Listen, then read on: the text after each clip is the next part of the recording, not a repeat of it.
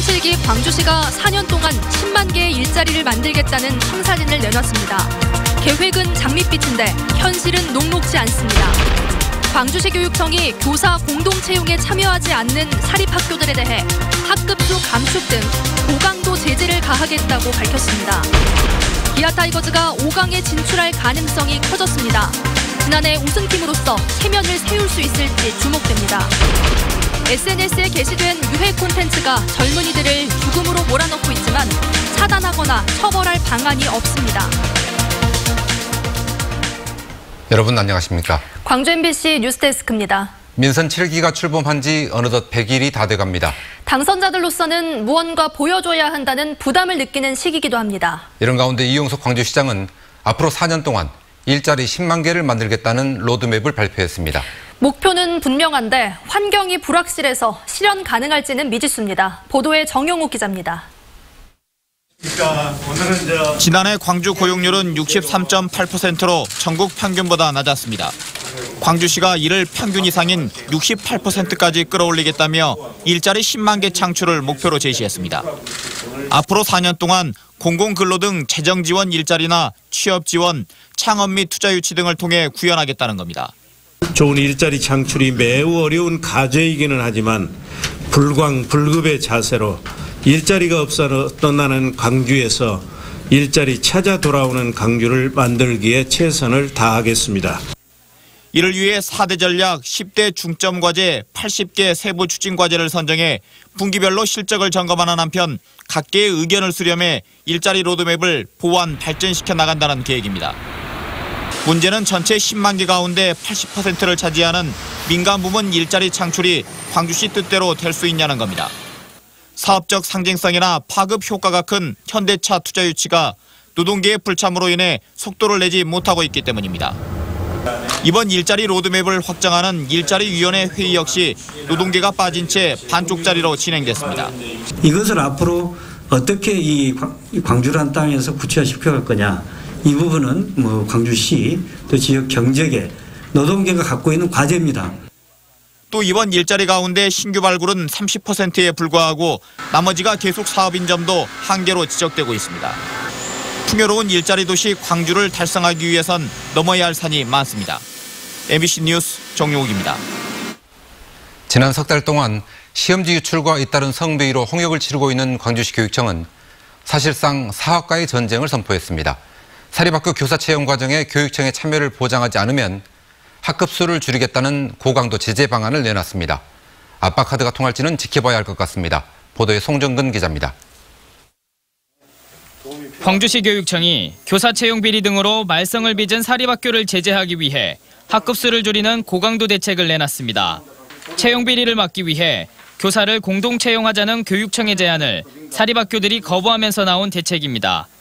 교육청은 학력 인구 감소에 따라 학급수를 줄여야 하는 상황에서 공동 전형에 참여하지 않은 학교를 우선적으로 줄여 실질적인 불이익을 주겠다는 방침입니다. 사학 관련 비의 양상들이 좀 일종의 좀 충격적이기도 하고 매우 다발적으로 일어나고 있고 어, 지도 감독과 관리 통제가 안 되고 있는 것들이 좀 심하다라는. 하지만 교육청의 학급수 감소라는 제재 방안이 실효성이 있을지 의문입니다. 교육청은 지난 2011년과 2012년 송원학원과 홍보학원이 비리교원에 대한 교육청의 중징계 요구를 거부하자 학급수 감소라는 행정조치를 내렸다 패소한 바 있습니다. 우리 교육청은 징계 요구권만 있고 징계 양정 기준에 대해서는 어, 거기 징계위원회 권한 사항이다. 그래서 교육청에서 시정 명령을 할 수 없다. 이게 그 주요 요지거든요. 그래서 저희가 패소한 거예요.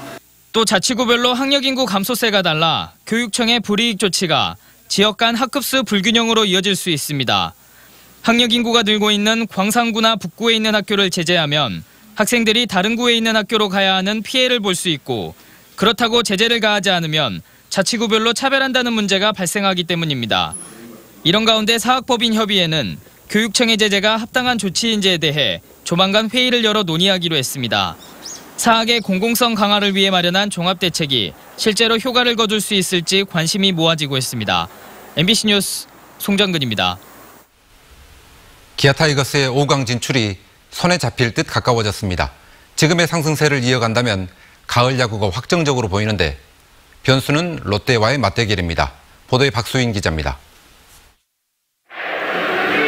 타이거즈의 8회 매직은 또 통했습니다.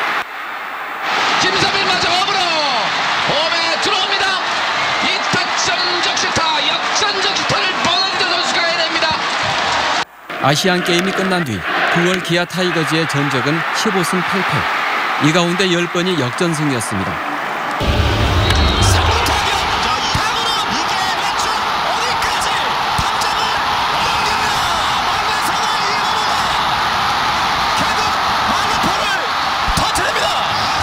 무서운 뒷심으로 5위에 오르더니 6위와의 게임차도 두 게임 반차로 벌렸습니다.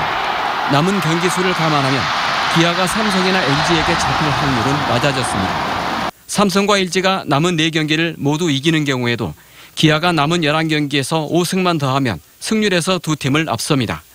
복병은 오히려 현재 7위 팀인 롯데입니다. 3게임 반차로 앞서 있지만 롯데가 최근 10경기에서 8승 2패로 상승세고 다음 주에는 기아와 4번의 맞대결이 예정돼 있습니다. 그래도 기아가 9승을 한다면 롯데가 12승 전승을 하더라도 자력으로 포스트 시즌에 진출하고 기아가 5승만 하더라도 롯데는 10승을 해야 순위를 뒤집을 수 있습니다. 여러 경우의 수를 감안하더라도 기아가 포스트 시즌에 진출할 가능성은 커져 있습니다. 지난 시즌 우승팀으로서 최소한의 자존심은 지킬 수 있을 것으로 보이지만 그러려면 먼저 이번 주 경기부터 가을 야구 자격을 입증해야 합니다. MBC 뉴스 박수인입니다.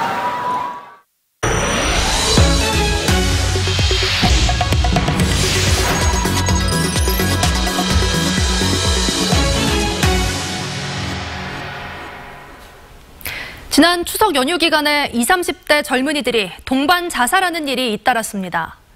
자살 사이트와 SNS를 통해 만났을 것으로 추정되는데 현재로서는 이를 막거나 제재할 수단이 없습니다. 남궁욱 기자가 취재했습니다. 날카로운 도구로 팔에 상처를 낸 흔적이 선명합니다. 최근 청소년들 사이에서 퍼지고 있는 SNS상의 자해 인증 사진입니다. 학업이나 교우 관계에서 오는 스트레스를 이런 식으로 해소한다는 건데 자살 위험 징후로 볼 수 있습니다. 이뿐만이 아닙니다. 실제로 온라인상에 자살과 같은 단어를 검색해보니 관련 콘텐츠들을 쉽게 볼 수 있었습니다. 예전에는 자살 사이트 등에서 오갔던 극단적 선택의 언어들이 트위터나 인스타그램 같은 개인 미디어로 파고든 겁니다. 이런 콘텐츠에 지속적으로 노출되면 극단적인 선택을 할 가능성이 높아질 수 있습니다. 어, 지금 심리적으로 굉장히 연약해져 있는 상태, 유약한 그런 상태에 있는 자살 위험성들이 높아져 있는 상태에서는 이런, 이런 동조 현상들이 좀 더 강화될 수 있고요. 실제로 지난 추석 연휴 때 광주와 인천, 포항 등지에서 일어난 동반 자살 사건의 당사자들도 SNS에서 알게 됐을 것으로 추정됩니다. 문제는 현행법상 SNS상의 이런 콘텐츠는 게시자나 운영자를 처벌할 별다른 수단이 없던 겁니다. 방송통신심의위원회가 자살 관련 콘텐츠와 관련해 내린 시정 건수는 작년 한 해 347건이었던 것이 올해는 8월까지만 해도 1013건으로 증가했습니다. 하지만 형사처벌까지 이어진 경우는 거의 없었습니다. 경찰에서 직접적으로 사이트를 차단하거나 폐쇄하거나 그럴 수는 없게 되어 있습니다. 관련 법이 없어서 그런 거죠, 지금. 그렇죠. 이런 가운데 최근 국회에는 자살 방조 콘텐츠를 처벌할 수 있는 법안이 발의됐습니다. 음란, 폭력 이런 것들이 있을 경우에는 2년 이하의 징역 또는 2천만 원 이하의 벌금을 내릴 수 있다. 이렇게 돼 있어요. 그런데 거기에 자살이나 자해행위 이런 게 없는 거죠. 그러니까 그런 걸 좀 더 구체화하면서 15년째 자살률 1위를 기록한 우리나라. 새로운 미디어를 통해 퍼져나가는 자살 관련 콘텐츠를 막지 못한다면 우리 사회의 불행은 계속될 수밖에 없습니다. MBC 뉴스 남궁욱입니다. 수확철을 맞은 농촌 지역에 농작물 절도가 잇따르고 있습니다. 폭염과 태풍 속에 피땀 흘려 길러온 농작물이기에 피해 농민들의 상실감도 큽니다. 보도에 윤수진 기자입니다. 50년간 농사를 지어 자식 셋을 키운 이순희 할머니는 최근 허탈한 일을 겪었습니다. 지난 4월부터 키우고 수확해 비닐하우스에 널어놓은 고추 15kg, 30여만 원어치가 밤사이 전부 사라진 겁니다. 깜짝 놀랐죠. 그냥 무서움 딱 들더라고요. 여기서 도둑질 해가고 나니까. 하루 뒤 내다 팔려던 것이었기에 할머니의 상심은 더 큽니다. 하우스 뒤쪽으로 돌아온 범인은 비닐로 된 문을 통째로 찢고 들어갔습니다. 이웃 농민들의 불안감은 이만저만이 아닙니다. 어, 걱정되죠. 많이 되지. 그런 거 해놓은 걸, 어디 남은 걸 손대. 수확철이 시작된 지난 8월 이후 지금까지 발생한 농작물 절도는 모두 31건. 최근 3년간 전남에서는 연평균 60건씩 수확물 절도가 발생하지만 검거율은 절반 정도에 불과합니다. CCTV 등 방범 체계마저 허술해 야간은 물론 주간에 발생하는 농작물 절도 사건 해결도 쉽지 않은 겁니다. 장기간 출타 시 인근 파수도에 신고를 하거나 블랙박스가 설치된 차량을 적군도에 주차하는 것도 한 방법입니다. 경찰은 농촌 지역 주요 도로를 대상으로 순찰과 검문을 강화하는 등 농산물 절도 사건 대책 마련에 부심하고 있습니다. MBC 뉴스 윤수진입니다. 이윤행 한평군수에 이어 김사모 광주 광산구청장도 1심에서 당선 무효에 해당하는 형을 받았습니다. 광주지방법원 제12형사부는 선거법 위반 혐의로 기소된 김사모 광산구청장에 대해 징역 1년 2월에 집행유예 2년을 선고했습니다. 김 청장은 예비 후보자 시절인 지난해 7월부터 9월 사이 광주 광산구 시설공단 직원들을 동원해 4천여 명의 당원을 불법 모집한 혐의 등으로 기소됐습니다. 반갑습니다. 적절한 의료 서비스가 제공됐더라면 피할 수 있었던 사망률, 치료 가능 사망률이 전남이 서울보다 20% 이상 높은 것으로 나타났습니다. 보건복지부가 오늘 발표한 인구 10만 명당 치료 가능한 사망률은 전남 54명, 광주는 52.4명을 각각 기록했습니다. 전국에서 가장 낮은 서울 44.6명에 비하면 전남은 21%가량 높았고 광주는 17%가량 사망률이 더 높은 것으로 나타났습니다. 한편 산모가 분만 의료기관에 도달하는 시간은 전남이 42.4분으로 서울 3.1분에 비해 13배나 높은 것으로 나타났습니다.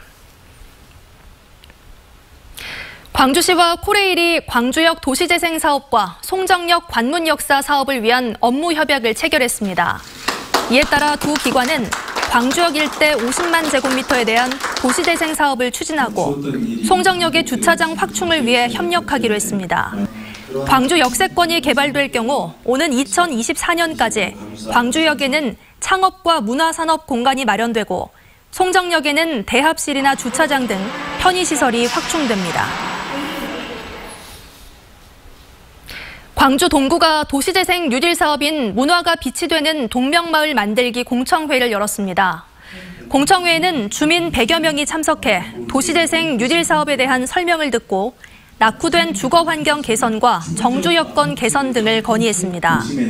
동구는 이 의견들을 바탕으로 지난 10년여간 재개발에 묶여 있다가 최근 해제된 동명 1주택 재개발 지역을 대상으로 앞으로 4년간 200억 원을 투입해 도시 혁신 사업을 추진하게 됩니다. 광주 세계 수영선수권대회 조직위원회 조영택 사무총장이 국회에서 이해찬 더불어민주당 대표와 안민석 문화체육관광위원회 위원장 등을 면담하고 지원을 요청했습니다. 조 사무총장은 내년 대회가 참가 규모면에서 동계올림픽과 비슷한 메가스포츠 대회인 만큼 총 사업비를 증액해주고 북한 선수단 참가를 위해 당 차원에서 적극 지지, 지원해달라고 말했습니다. 이에 대해 이해찬 대표는 국비 부족분에 대해 예결위에서 적극적으로 반영하도록 검토하겠다고 답변했습니다.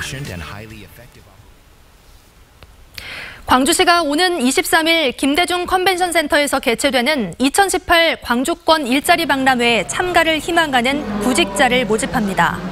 희망자는 모레까지 일자리 박람회 홈페이지를 통해 신청할 수 있습니다. 이번 박람회에는 한전과 광주은행, 금호타이어 등 대기업과 공공기관 등이 참여하고 인공지능 잠 매칭 프로그램을 도입해 구직자에게 적합한 직무를 연결해 줍니다.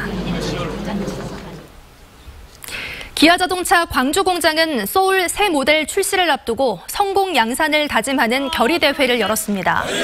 소울은 독특한 디자인의 도시형 소형차로 2008년 기아차 광주 공장에서 생산을 시작해 현재까지 166만 4,021대가 생산됐습니다. 결의대회에 참석한 임직원들은 소울 신차 성공을 통해 광주 공장을 한 단계 더 성장시키고 미국의 보호무역 강화에 따른 위기를 극복하자고 다짐했습니다. 광주 MBC 등 지역 MBC 16개사가 공동 제작한 지역 독립선언이 오늘부터 매주 월요일 밤 11시 10분에 5주 연속 방송됩니다. 이 프로그램은 지역의 상생과 발전을 위한 프로젝트로 충청권과 전라권, 경상권과 강원권 등 4개의 지역 거점을 순회하며 지방자치와 분권의 화두를 토론과 쇼의 형식으로 담았습니다. 스위스와 독일 등 유럽의 자치분권 현장을 생생하게 담아내고 자치분권이 일상의 삶에 어떤 변화를 가져오는지를 보여줄 예정입니다. 광주 전남 지역에서 경찰의 관리를 받고 있는 조직폭력배는 16개 조직에 542명인 것으로 나타났습니다. 경찰청 조직폭력 범죄 현황 국감 자료에 따르면 광주는 8개 조직 327명, 전남은 8개 조직 215명 등이 활동하고 있는 것으로 나타났습니다.